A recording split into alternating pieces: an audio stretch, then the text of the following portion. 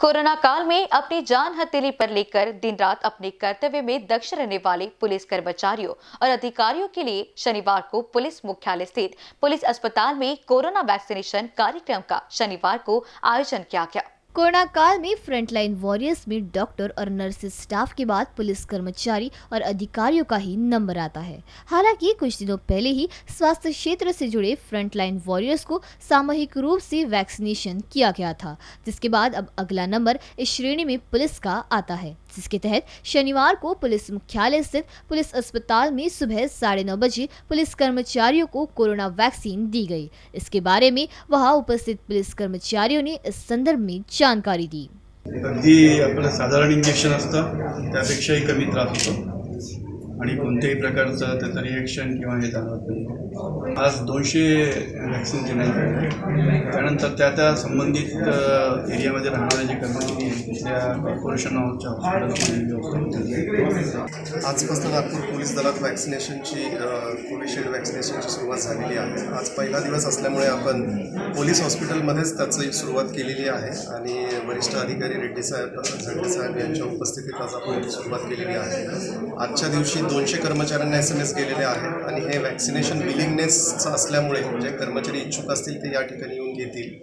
सोमवारपासून कॉर्पोरेशनकडनं सोळा हॉस्पिटल्स वेगवेगळ्या ठिकाणची जी त्यांनी ऑलरेडी नोटिफाय केली आहेत आणि तिथे मेडिकल स्टाफला यापूर्वी वॅक्सिनेशन झालेलं आहे. तिथलेच सोळा हॉस्पिटल्स आम्हाला अलॉट होतील.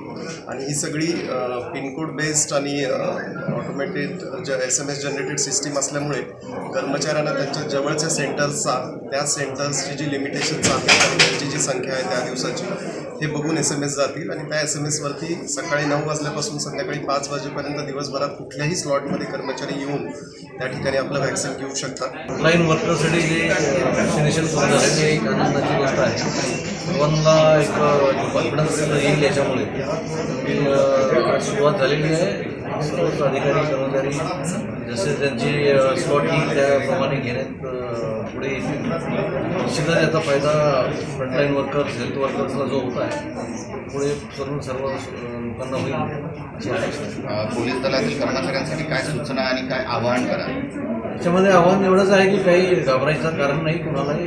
कोणी कुठल्या अफवामध्ये जे पसरतात त्याच्यामध्ये पडायची आवश्यकता नाही. त्यानंतर त्यांचा सुरळीत असं आणि कार्यक्रम करण्यात करण्यात आलेला आहे. त्यामुळे सर्वांनी न घाबरता त्यांना सूचना मिळालेल्या आहेत. त्यानुसार सर्वांनी वॅक्सिन घ्यावी. पुढे इस दौरान शनिवार को पुलिस मुख्यालय स्थित पुलिस अस्पताल में सुबह साढ़े नौ बजे से पुलिस कर्मचारियों और अधिकारियों को अपर पुलिस आयुक्त नवीन चंद्र रेड्डी, अपर पुलिस दिलीप छलके, पुलिस उपायुक्त आयुक्त डॉक्टर संदीप पाकले की उपस्थिति में कोरोना वैक्सीन दी गई। कैमरा पर्सन राजकुमार मोर के साथ दिशा हटवार बीसी न्यूज़ नागपुर।